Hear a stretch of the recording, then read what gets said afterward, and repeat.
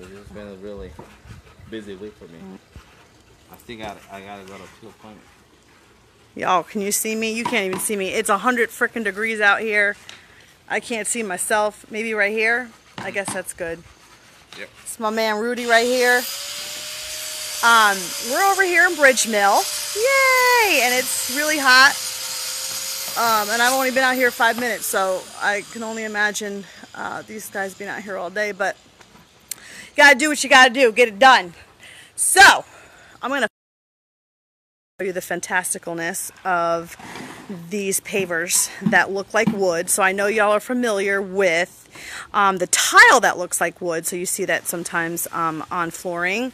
But did you know that there are pavers that look like wood? So I'm going to show you that. Um, we're doing a nice little wraparound stair with um, some columns and uh, we're hoping to get this done today and tomorrow we're going to deliver the hot tub. Oh, there we go. All right, I'm going inside. I think my phone overheated, and so um, it cut off my my my feed. Does my hair look good? No, it looks terrible. I hate it. Anyway, so um, so I'm gonna go back outside here and show you what we're doing. Um, and uh, yeah, that's it. Let's see.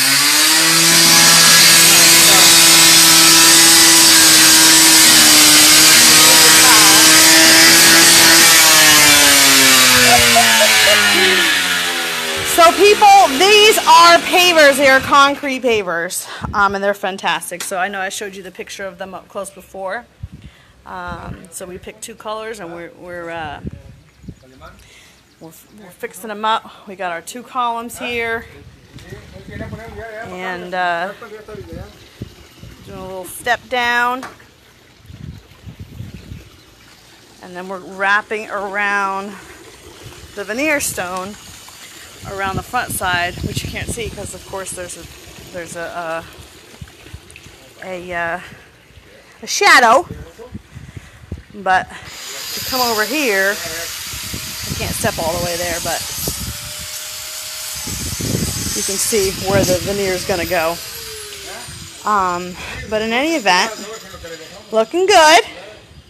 Happy, happy. And uh, I'll be back tomorrow when the tub's getting delivered, and then we'll show you the finished product. So, talk to you soon.